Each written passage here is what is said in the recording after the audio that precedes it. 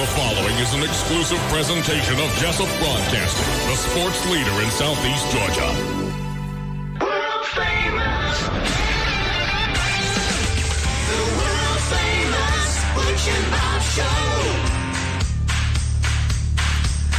And good morning to you. You're listening to the Big Dog WIFO FM in Jesup 105.5 on your FM dial. Big Dog Country Radio. Butch Hubbard here with you along with Bob Morgan on this Monday morning, the 23rd day of March. Now time for the world famous Butch and Bob show brought to you by Nips Car Wash located on Highway 301 South just past McDonald's on the left and by Murphy Builder Supply located right in downtown Jesup on Northeast Broad Street. And Bob, how you doing? Good. Good. It's All right. Mondays with Meeks. We got Steven Meeks on the phone. Steven, I'm kind of surprised you're calling in because the session shut down, but we appreciate you calling in anyway. Well, good morning. Just wanted to call in and say hello and touch base and uh, get a little information out that uh, that obviously as we face unprecedented times and unprecedented measures uh, in our state and country, uh, just wanted to call in and say hello and uh, just kind of let y'all know what's going on from our perspective and, and what we're hearing from uh, from the governor. Well, tell us what we're hearing. You know, we like to get the update. Well, the, the one thing I would continue to say is, first of all, uh, great appreciation to our healthcare community and our first responders who are on the, the front lines of, of this epidemic that we're facing. And um, I uh, can say that with certainty after uh, listening to some of the stories of first responders across our state, you know, the the, the one thing that, that they face every day as they go out is not knowing whether they're going to be exposed to this and take it home to their families. And there's great concern, and obviously, as uh, as test kits become available, that we're trying to make sure that first responders have access to those, um, as well as some other uh, aspects of the community to make sure that they're protected. But uh, so, so thanks to our healthcare community and also to our uh, in Wayne County School Nutrition Program, who continues to help keep uh, keep kids fed during this time. Uh, again, this is unprecedented times that we're living in, and uh, great people are stepping forward and helping take care of the things that they do on a daily basis when we're not facing epidemics such as this. So, thanks, uh, thanks to help keeping the uh, our school kids fed. Uh, we've had uh, four state legislators at this point to be to test positive. Uh, four senators. Uh, as we know, we had a, a member of the Senate that uh, attended session uh, exhibiting symptoms but had not received a test yet for that had been uh, conducted previously, or the results of that test. So, uh, right now, I don't know of any in the state house that has uh, has been diagnosed. So we continue to hope that uh, members of the House uh, remain uh, uh, coronavirus free. Uh, checking the numbers this morning from the Department of Public Health, we have 620 cases so far, uh, as well as 25 deaths in Georgia. Uh, the one thing that I would ask the uh, the public to do is you're looking for information.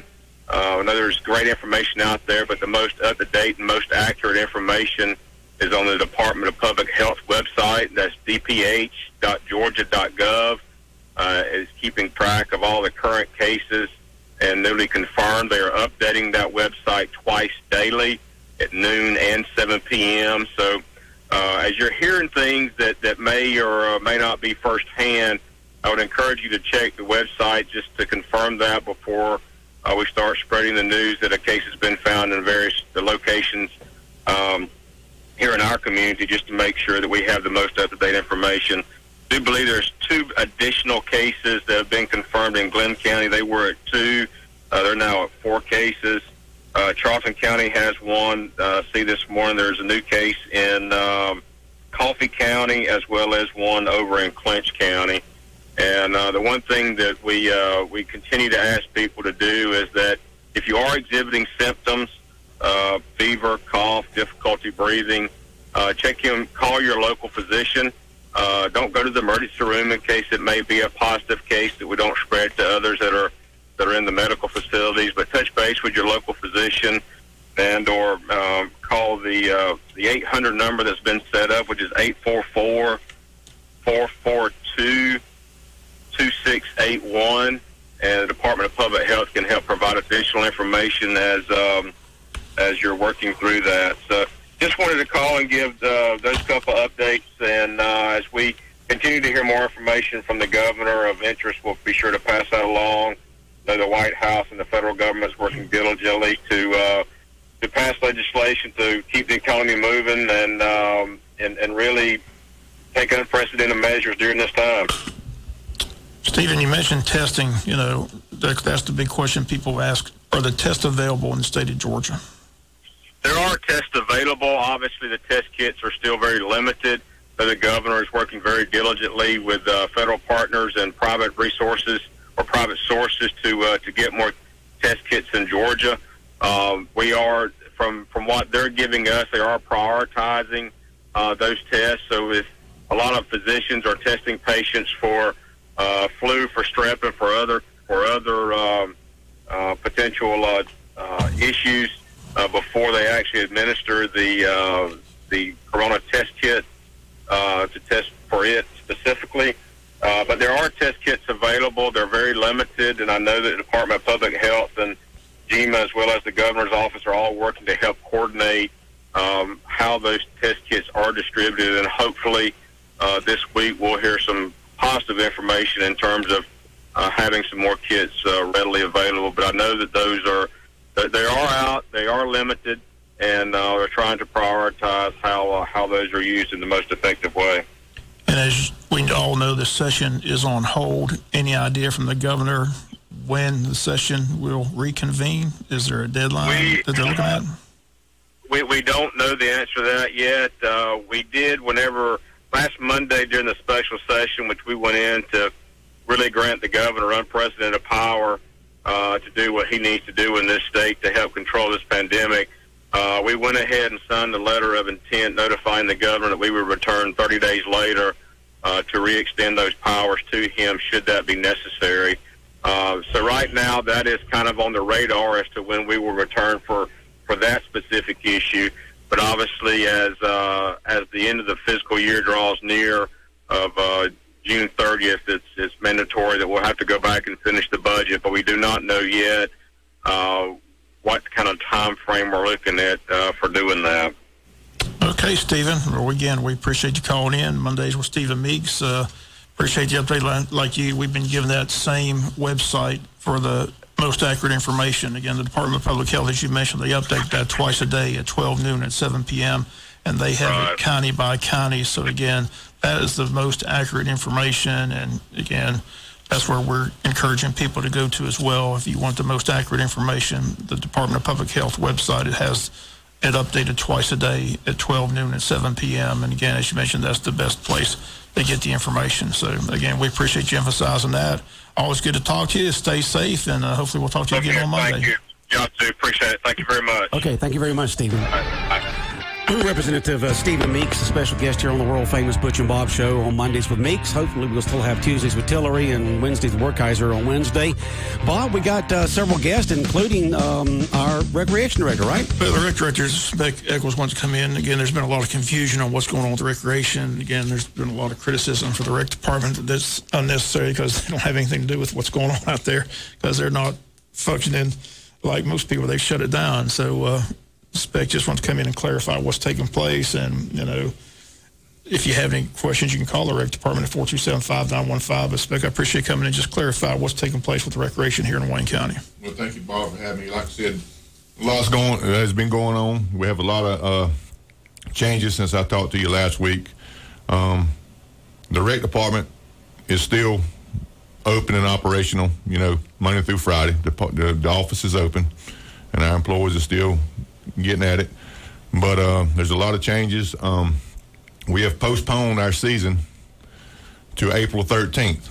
Um, that's going to probably determine, you know, if they go back to school, things like that. So, you know, right now we just postpone our season. All practices have been canceled. There's no more practices out there, but the fields are open. So if you want to go out there on your own, you know, that's your business. But but the rec department has canceled all practices. The, the upcoming track season has been canceled. Um, been talking with uh, Steve Carr from GRPA for the last couple of weeks, and our district commissioners. Uh, GRPA has decided to cancel district and state track, so that that put our track on on on hold there for this year. Um, GRP will also make a decision on April 1st on whether they're going to continue with district baseball and uh, softball and on the district and state level. So I figure, you know, by then we should determine what we're going to do with our season and, you know, determine what they're going to do with school. But like I said, Um, I had a lot of phone calls this weekend about is Lake Grace still open? Right now, it is still open. Um, all our facility rentals are closed until the 13th of April, so you can't rent no facilities. Um, but uh, that's where we stand at right now. Like I says, a lot of people has been saying that uh, you know the rec department we don't have nothing to do with GRPA. We are we are totally different from the GRPA. So just because the GRPA does this, don't mean that you know uh, GHSA don't mean that GRPA does it. So we just we, we on a different timeline than they are. So, like the school system, everything's just on hold till you know basically the end of the month, and then we're going to reassess after that. reassess. Like I said, we Right. tried to, we pushed our season back a little bit. So, but we, we have canceled practices right now until further notice. But like I said, I, I think it's all going to determine if we go back to school or not, where where people's going to play or not. Okay, well, we appreciate you coming and clarifying everything. Like I said, I know your department took a lot of criticism because people were out there practicing Right. thinking it was organized by the rec department, but it Yeah, was not. but they were they were practicing, Bob. They were not mandatory practices. They was up to the coaches. right. Coaches. Um, if the coaches want to get the kids out there, but a lot of parents was were, were scared that the kids was going to get punished. The, the kids is not going to get punished if they if we start playing games tomorrow. They miss the practice. We got in our rules that if they if they show up to a game, they still play and get the bat. So no no kids going to get punished for missing practice. So just wanted to clarify that. But like I said, practices are canceled right now until further notice. Are sign-ups still taking place, or is that closed out? Nothing. We we're n- we're not doing those signups right now, and nothing at the rec department. But we are open. You know, take phone calls and whatever we need to do. But there's no signups going on, and no, and like I said, no facility rentals. I got you. Okay, doke. we appreciate you coming in. Good to see you. And Thank you, if Bob. you need to get any more information, just get it to us, and we'll, All right. we'll pass it along. I sure will. Thank y'all for having me. doke. All right. Thank you, Spade. All right. We'll be back more of the world famous Butch and Bob show. More guests in the green room. Your WIFO forecast. Good morning. Cloudy, slight chance of showers in the morning. Then a better chance of showers in the afternoon. South winds becoming southwesterly, highs upper 70s. Mostly cloudy, 40% chance of showers, low 60s for tonight. Tomorrow, partly sunny, 20% chance of showers, highs in the low 80s. Then Wednesday, mostly sunny, slight chance of morning showers, highs in the low 80s. And Thursday, sunshine, highs mid 80s. Georgia meteorologist John Weatherby in the GNN Weather Center. I don't understand why mom hits me so hard, or why I don't get to eat every day, or what that stuff dad makes in the garage is, or why my chest always hurts so bad. A lot of adults say they care about me and other kids like me. Most of them will never do anything to help us, but a few will. Are you one of the few? Nobody longs for a loving family more than a child. By becoming a part of Tri County CASA, you can help hundreds of children who live right here in your community. Tri County CASA is currently looking for volunteers who have a heart for helping abused and neglected children. If you'd like to help make a difference, become a volunteer. Contact Pam Holmes at Tri County CASA at 912 367 0064. Big Dog Country Radio, WIFO 105.5 FM in Jesup. We continue on with the world famous Butch and Bob show. Bob, more guest here in the studio with us. Yeah, got Stanley Todd in here with the guest talking about hospice, and that's the topic. Tell us what's going on, Stanley. hospice and grief support. We're thankful to be here this morning and uh, considering all that's going on and uh, changes that are happening, things that we're having to do new now because of uh, coronavirus. Uh, but I was thinking as I was on the way here this morning, uh, with hospice, uh, it doesn't change. Uh, we we're still on the front line, and um, you know there are people out there that uh, unfortunately um, are in that time of life and they need this this level, this skill of care. And we work with a wonderful organization, Hosp- Hospice of South Georgia. And I, I just want to take a, a minute or two just to commend uh, these uh, our employees, our staff. They they're out there doing, um, you know, what, what, what they have to do to help take care of people. And it's important that we continue to do that.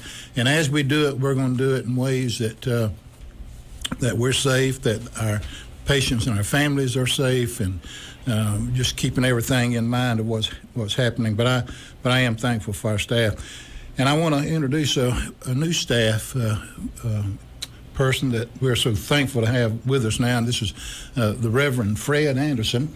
Uh, Fred uh, started with us a few weeks ago, and we're so fortunate to have him on our staff. He is our new bereavement coordinator. One thing that we do in hospice, uh, that we continue to do after uh, a patient uh, passes away is that we follow up with our families for the for the next 13 months. And a lot of people don't know that that that is an offering uh, of hospice, but it's one of those great uh, things that we continue to do uh, for families after we lose a, a, a patient. So Fred is he is our is our bereavement coordinator, and, and we're glad to have him, and and uh, he's going to share some important information with us too this morning as we as we go along. I, I just want to, you know, say that one thing that does not stop is uh, people people continue to to uh, lose their life. Uh, they're they're still death, and it's one of those things we don't really want to talk about a whole lot. Uh, someone said one time that uh, there's there's a lot of lessons taught about what we can gain, but not a whole lot of lessons taught about how to lose, and, uh, and that's unfortunate. Uh, people need to know that there are. Um, there are things that, that can be offered to them to help them through their time of, of loss and grief. And so we offer a grief support group, and in the past, we've invited people to come to us, and typically that's happened on Monday evenings at 6 o'clock. It's a nine week uh, program that we offer, and it's community minded. Anybody can can come that would like to come to that. But right now, we're asking people not to come, and that's sort of that's sort of hard uh, because uh, we know that people uh, can um, can do well as they go through that uh, setting. So, uh, as we have thought about it, uh, instead of we inviting people to come to us, we're going to take this program to them, and and we can do that. There are certain ways that that can happen. So I, am going to turn to Fred and, and uh, get him to. Uh, we've come up with a few ways that we think that we can do this and be successful at it. So, uh, Fred, uh, anything you want to say, and then talk about those points, maybe. Sure. Um, thank you for that, and thank you for that introduction. Um, we do work with a, a great organization, and uh, like Stanley already said, props to our administration and, and those that we work with to pro- provide the highest level of care possible. We are. Um, trying to be as creative as possible, still doing some things that we would normally do, but maybe in different ways, like Stanley said. Um, one thing that we're doing is uh, Stanley mentioned that we're not setting up these meetings for nine weeks to come to our office to have this grief support care, but we are offering to go to wherever you are in the home, at your office, whatever is a convenient location to come and meet with you or other family members. And again, I want to reiterate uh, what Stanley said.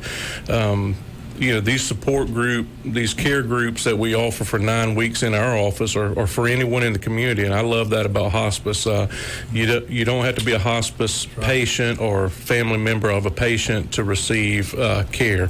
We're community minded we love our community in wayne county and we want you to know we're here for you. If you've never been in our office or if you've never been um, provided care for by a nurse or any of our administration, you're still eligible for this grief support, and we want to be here for our community as well. So we we are offering in-home visits or or setting up a, a a visit for wherever you would, of your choice, wherever you would like for us to come and offer this same level of grief care and this grief support. Our uh, grief counselors would, would line that up with you. If you call into our office, we can set that up. Another avenue of care during this time, during this unusual time, is our Facebook page. Um, we're updating our, our Facebook page and providing grief support there.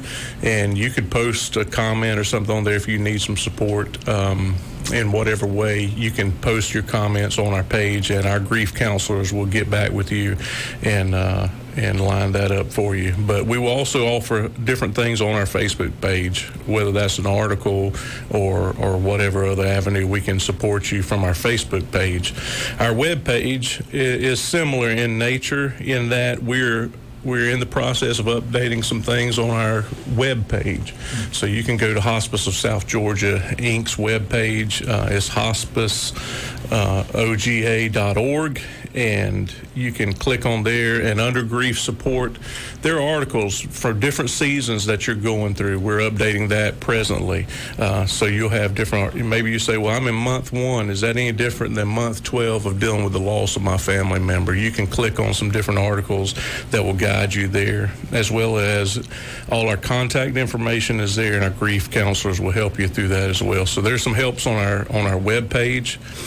Also by telephone, you can call into our office, and our grief counselors are uh, available. And if they happen to be out of the office, they will call you back and um, provide counseling and help during your time uh, of needed support. And so by telephone, uh, we are offering support.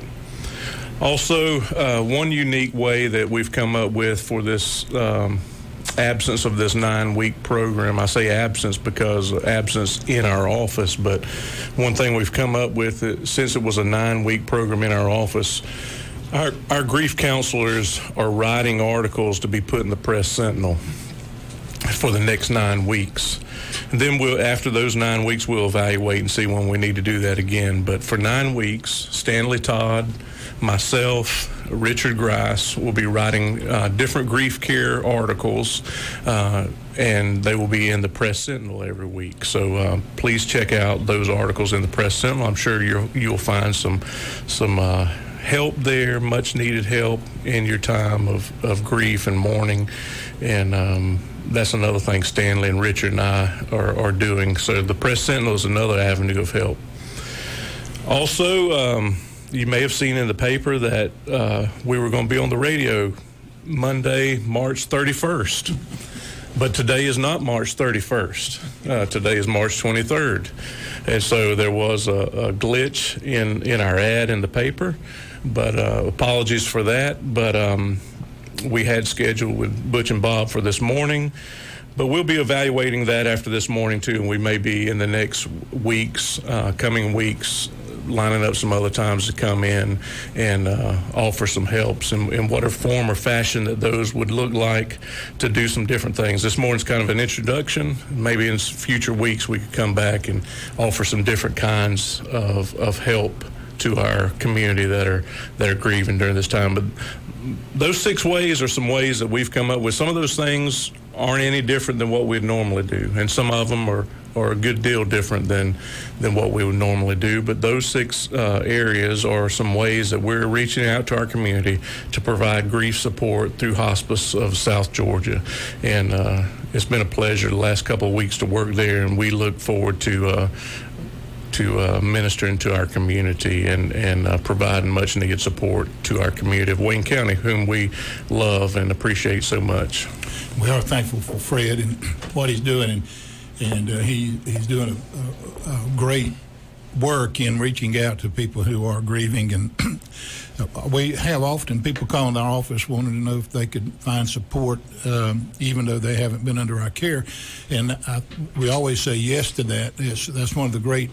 Um, services that I, I feel our organization uh, is, is able to do and uh, reach out even to those that uh, haven't been connected with us in the past. And so we're here.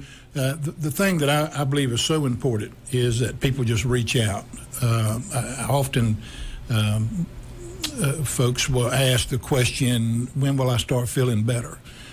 And that's a, that's a very difficult question to answer. Uh, the thing is, there's, there's certain areas of life that you can um, concentrate on that will help you feel better. And one of those main areas is that you that you seek out for help, and uh, and that's what grief support is all about. It's offering people that assistance uh, to to find ways in which they can learn how to make their loss a part of their life. Uh, and I know it could be some questions, but um, you know, people have this misconception that they're going to get over losing somebody, and I, you know, listen, that, that's not going to happen. It's not. It's just not going to happen. Uh, you don't get over losing somebody, and unfortunately, I've I've said in the past. Uh, uh, earlier in life that you know people needed to get over and move on. Well, that's that doesn't happen. That's unfortunate uh, comment. That's, that's that's a big misconception. You don't get over it. You you don't resolve death. But what you do is you reconcile it. In other words, uh, you make it a part of who you are, and you learn how to move on with life. And the highest tribute you can pay to someone that's that's gone on before you is to continue to live your life. And that's what we, that's what our hope is through offering grief support is to help people find ways in which which they can do that. Anything else that anything else that you'd like to add with the grief support through Hospice of South Georgia on Sunset Boulevard?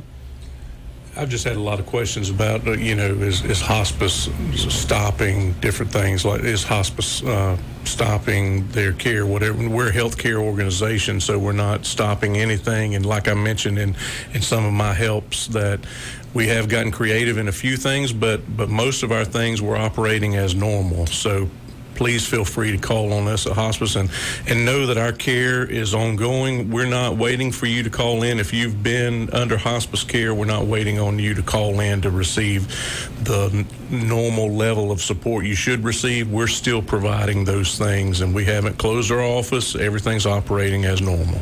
Yeah, and so we're we're uh, just asking people to. Uh, to keep us in mind, and if there's anything in any way that Fred or any of our other staff can support them through, you know, listen, this is a difficult time again, and there's going to be a lot of ways that people will grieve as they go through this crisis, and uh, so you know, whatever support we can we can help and give, that's what we want to do. Okay. All right. Bob, any other questions for our guest this morning? Y'all, y'all. y'all are always welcome here on the world famous Butch and Bob show. Anytime that y'all want to co- uh, come on, uh, just uh, outstanding, uh, helpful services that y'all provide uh, to the uh, the families out there and to the patients. And uh, just hats off to you, Hospice of South Georgia on Sunset Boulevard here in Jessamine. Thank you. And I, I just one one other thing. I, it, we'd love to come back, and when we do, uh, I'd I'd like it to be where uh, people can call in. And if they have questions can about their in. loss, their grief, text in. They text and, in to uh, we'll, and we'll be glad to read the Hopefully, we'll be able to uh, give some help or some ideas about how people can continue to work through their loss. All right, we'll just set it up, and we'll be glad to do it for you. Thank you. you. Thank All you, right. Butch and Bob. All right, we'll be back with the final wrap up of the world famous Butch and Bob show in just a moment. The first Doctor's Day observance was March 30th, 1933, in Winder, Georgia. The idea came from Eudora Brown Almond, wife of Dr. Charles Almond. March 30 was the anniversary of the first use of general anesthetic in surgery, which was used in a procedure by Dr. Crawford Long of Jefferson, Georgia. Georgia's Barrow County Medical Society Auxiliary proclaimed the day Doctor's Day. This special day was celebrated by mailing cards to physicians and their spouses, and also by placing flowers on the graves of doctors who had passed on, including Dr. Long. President George H.W. Bush signed a resolution recognizing the first National Doctors Day, March 30th, 1991. This is Jill Blizzard of Wayne Memorial Hospital. In honor of their lifetime commitment to patient care, we salute all physicians on this special day. Wayne Memorial Hospital, caring for the community. You're listening to the world famous Butch and Bob show right here on WIFO 105.5 FM in Jesup. Butch Hubbard here with you along with Bob Morgan. And Bob, just uh, an excellent, informative interview that you had with Jesup Mayor David Earl Keith. And just, uh, he, he said the right words at the right time so people can um, understand what's going on with the city and the right things to do. I said, just heed everybody's advice, you know, and go to the right website to get the correct information. That's yeah, the there was a uh, there was a rumor out over the weekend that somebody in Wayne County had tested positive, but according to the official reports from the state, nobody has. I I, I don't know if they ever will. I, I, for a lot of people, they just think it's a matter of uh, uh, if, not when. Um, no matter when, not if. So, what is that official website once again, Bob? I know that you have there in front of you for folks to. It's updated twice daily on the official reports of uh, reported cases in the state of Georgia and how many people have succumbed to it. Again, they updated at 12 noon and 7 p.m. It's the Georgia Department of Public Health website. It's https slash dph.georgia.gov slash COVID-19 daily status report. So Okay. Again, if you want the accurate information, That's the information website. Also, if you need to call the local hospital, their number is 912-402-7625. They're open Monday through Friday from 8 to 5 p.m. Also, there's a national number to call if you want more information, and that's a statewide hotline number. That's open 24-7. That number is 844-442-2681. So again, be smart, stay safe. Again, as they say, to avoid large crowds, wash your hands frequently, stay six feet apart, do that social distancing. Just try to do what they tell you to do. Yeah, just do what they say to do, and uh, and um, hopefully we'll get through this thing just fine. Uh, I know that uh, stores are still packed, and, and um, they're not practicing social distancing, distancing at the stores, Bob, at the uh, supermarkets and uh, places like that where you can get uh, food uh, just uh, packed and shelves empty. So um, people still um, panic buying, but hopefully that won't, uh, you know, taper off and people get back into a regular routine with their with their shopping. But they are packed inside the stores right now. And and I know that some stores have cut back on hours. I know that Walmart has, and other stores have cut back on hours, and uh, trying to. Um, uh, to cater to senior citizens first and things of that sort, uh, trying to do the right things. We've got a lot of local restaurants here in town that are doing either just pickup, drive-through, or curbside service. Many of them still have their um, uh, their dining rooms open, but they are spreading people apart, you know, six feet apart, and uh, things of that sort. So you can still have that in uh, in restaurant experience, but still have that social distancing. So everybody seems to be doing their part as much as they possibly can, and hopefully everybody will. I think the one thing the mayor stressed, I want to stress, you know, please support these local businesses. Oh, You know, yes. You know, because it's important at this time that they stay live and active. And like I said, they're providing those drive-through windows. So please support your local business as much as possible during this time. Yeah, a lot of people have a lot of free time now, so they can. Uh, yeah, I know right now that the uh, the car manufacturers have offered super incentives on the brand new vehicle, so it's an excellent time to get a new vehicle. I know that um, uh, that uh, stores are discounting right now, and uh, you've got um, you know people at home they can do you know like go to Moody's Nursery and get their home and garden stuff and things of that sort to do things around the house and the hardware supply stores to maybe do some projects around the store and things of that around the house and things of that sort. So support those local businesses and uh, get some projects done around the house and and, and enjoy some uh, great takeout food or um, pick up curbside service or drive-through service from a lot of these restaurants and uh, just in uh, support these local businesses uh, so we can all get through this and uh, and hopefully be back on the right track in a few weeks. But uh, The school's still providing those meals Tuesdays and Thursdays. We'll run down those sites again tomorrow on the local news. But again, those are taking place on Tuesdays and Thursdays. So all right. Anything else, Bob? That's about it. Okay. All right. Have a good day. All right. World famous Butch and Bob show brought to you by Nips Car Wash, located on Highway 301 South, just past McDonald's there on the left hand side. Get your car all cleaned up. Uh, right there, that laser guided car wash and two cell service bays. Nips Car Wash. Nip, nip, nip, nip, Nips Car Wash, located on Highway 301 South, just past McDonald's. Nip, nip, nip, Nips Car Wash. And by Murphy Builder Supply, where the builders buy, located on Southeast Broad Street and down, uh, Northeast Broad Street, excuse me, Northeast Broad Street in downtown Jesup, right down from the Big Red Caboose. World famous Butch and Bob Show.